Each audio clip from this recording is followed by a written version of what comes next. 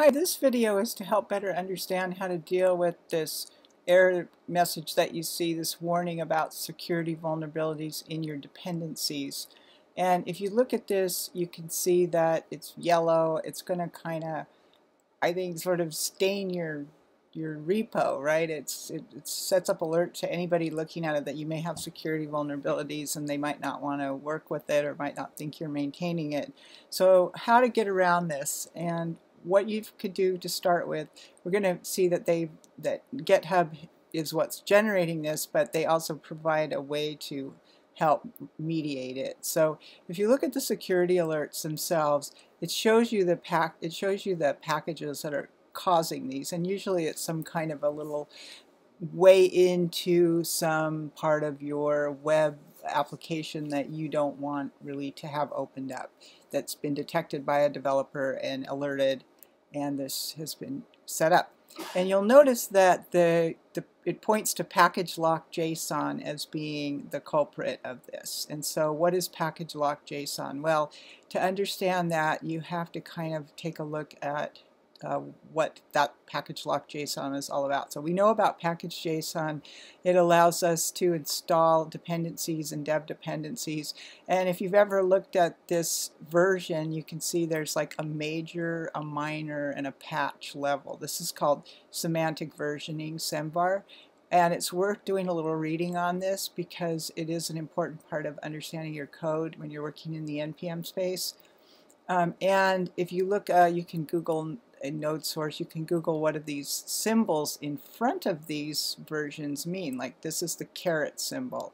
And I think this is the, what led us into having package lock. So in the early days there was a tilde and that allowed you to, uh, uh, if you did an npm install it would try to grab the latest version up to but not including the next level of the of the minor version. So like if I'm at tilde 123, I could go all the way up to but not including 1.3. And then when we got the caret, it opened it up a little more so that if I had caret 123, it would go all the way up to the next major version. Well, that introduced some issues, um, in, especially in enterprise computing, where you know you had developed it at a certain level, a certain version, and when people were installing it or your build process was installing it, it was taking it all the way up to the next major version. So the decision was made to lock that down. And the way that they did that was with package lock. So when you do an npm install and you're encouraged to check in package lock, it basically figures out all of the various versions of every single code in all of your dependency tree, everything, even things that you did not npm install, but what your your libraries installed, and it locks them down so that it's like sort of guaranteed to work at that version. Um, but it can get complicated, and then what happens is um, there are vulnerabilities found in some of these versions, and GitHub is detecting that and alerting you to that. So what can you do about it? Uh, and you can look a little closer at these things and it will tell you, well, one thing you could do is you could go into your package JSON, you could delete your package lock, you could delete your node modules, and you could add the next great, you could have this greater than or equal to to ensure that you got up to a version that got you past this, past the whatever the version with the security vulnerability was. And so this is one way you could do it is to manually, you know, clone your project, uh, set one of these uh, into your dev dependencies or dependency depending on whether it was affecting your build process or the actual code you were writing. And then you could npm install it, you'll get a new package lock JSON, you could check that in and that will clear it out.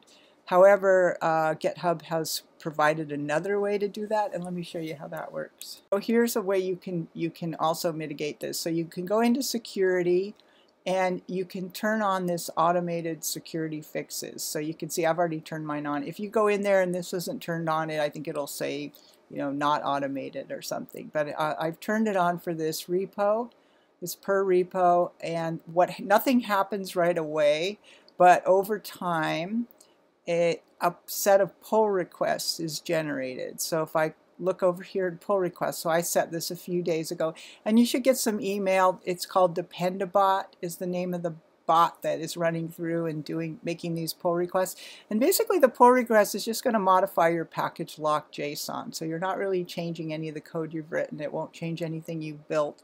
Um, but if you go, if you if you accept their pull request, and usually it's pretty easy to do because it's just a change in package uh, lock.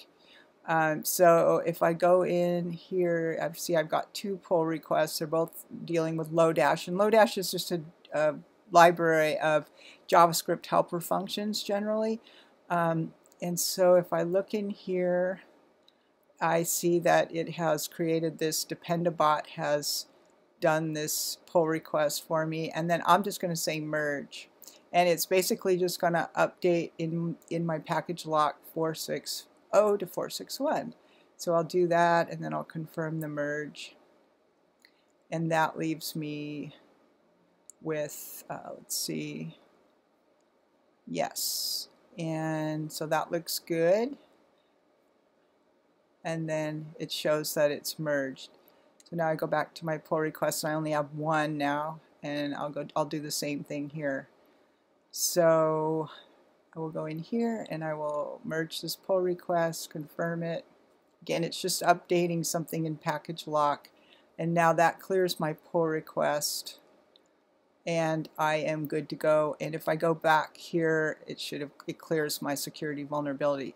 So this is a way you can do your maintenance. The thing is when you're doing these um, merge requests up on the cl uh, cloud like this, be sure you always pull and reinstall, do npm install again so that you're, you know, delete, you know, so next time you go to work on this project, you'll want to like, I would delete the the local node modules and the local package lock and npm install so you're getting the latest versions of everything and um, not having to deal with any you know, don't start developing if there if you would generate any git merge issues. So um, that's probably the easiest way to take care of this. All right